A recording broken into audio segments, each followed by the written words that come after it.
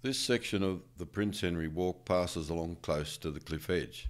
Long vistas to the horizon of the World Heritage Area are seen from the lookouts, while between them you will experience intimate bush rooms in forests and heathlands.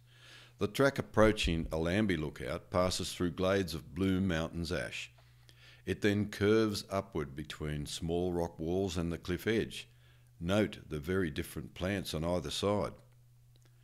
Allambie is an Aboriginal word meaning quiet place or place of meditation.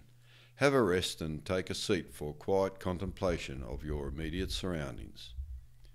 At the lookout, see on your left a veritable bushland garden with native trees and shrubs. This contains species which are important to the native birds in the area. There are two gum tree species, including Eucalyptus oreades and the smaller Blue Mountains mallee, Eucalyptus stricta. Look closely and you will see a plant like an upturned broom. This is called Allocasuarina distyla. It is an important food source for the threatened glossy black cockatoo. A few metres in from the fence is another shrub, Banksia spinulosa. This is one of the important food sources for honeyeaters and provides seed for cockatoos. Walk down the track and look back into the bushland garden. Now see the location of the Banksia spinulosa and Allocasuarina distyla. You will see another Allocasuarina in that bushland garden with small cones.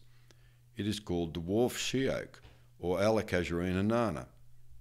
Further down the track on your left are the Blue Mountains ash or Eucalyptus oreades, and to the right a low wet rock cliff and overhang. In spring and summer you might see a low shrub here with bright red flowers. It is the Blue Mountains Christmas bell.